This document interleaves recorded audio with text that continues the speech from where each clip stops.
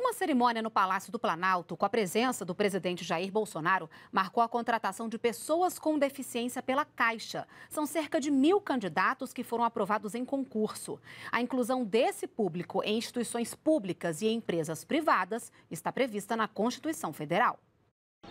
O Brasil tem hoje 45 milhões de pessoas com algum tipo de deficiência. Os dados são do IBGE. A Constituição de 1988 facilitou o acesso dessa população ao mercado de trabalho com a criação da Lei de Cotas. Os concursos públicos passaram a reservar 20% das vagas para pessoas com deficiência e nas empresas privadas o percentual de contratação deve variar de 2 a 5%.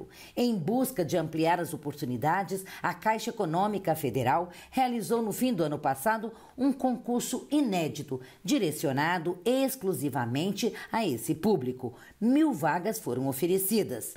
E uma cerimônia no Palácio do Planalto oficializou a chegada dos novos técnicos bancários. As pessoas com deficiência normalmente são aquelas que atendem de uma maneira especial, porque passaram a sua vida inteira sendo marginalizadas muitas vezes, e os clientes da Caixa, eles chegam de uma maneira diferente. De acordo com o Ministério da Economia, dados de 2018 apontam que mais de 450 mil pessoas com deficiência já foram capacitadas no país e trabalham com carteira assinada. A política de inclusão é hoje uma das prioridades do governo.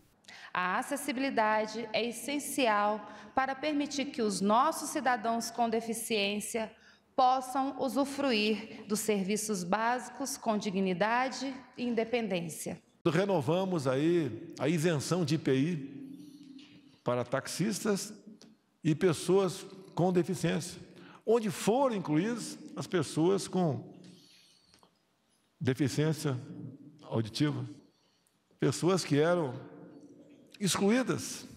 Trouxemos para dentro da realidade da política brasileira. E como é bom fazer política do bem.